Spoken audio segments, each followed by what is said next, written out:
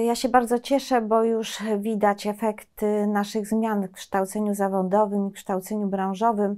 Najlepiej o tym będą mówić liczby. Coraz więcej uczniów decyduje się na to, by uczyć się w szkołach branżowych i technicznych. To jest wielka satysfakcja i nie udałoby się tego zrobić bez poprawy, bez wprowadzenia, bez wzbogacenia doradztwa zawodowego, a doradztwo zawodowe to bardzo ważne zadanie które ma pomóc przede wszystkim uczniom w wyborze odpowiedniej ścieżki, drogi kształcenia, a później w dobrym życiu, życiu zawodowym i osobistym. To są bardzo ważne wyzwania, które udało nam się zrealizować dzięki projektom unijnym.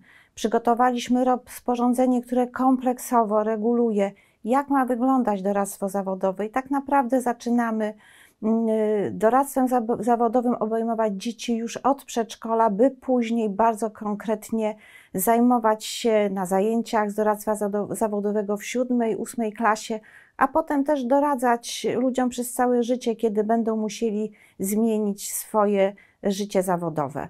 Doradztwo zawodowe to bardzo ważny element kształcenia zawodowego i zmian.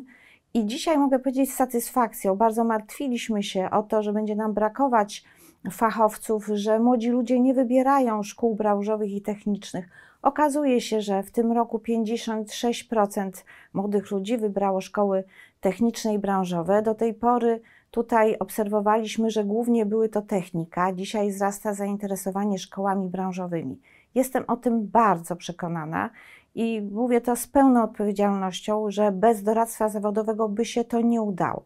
To jest wskazanie też i za pomoc w zauważeniu predyspozycji, jakie mają uczniowie, pokazanie, w czym sobie będą najlepiej radzić w życiu zawodowym, ale też pokazanie, jakie są możliwości w szkołach, które funkcjonują w Polsce, w powiecie, w regionie, pokazanie, w jakich zawodach te szkoły uczą, dotarcie do, z informacją zarówno do uczniów, jak i do ich rodziców, bo oni ich wspierają w tych, w tych wyborach.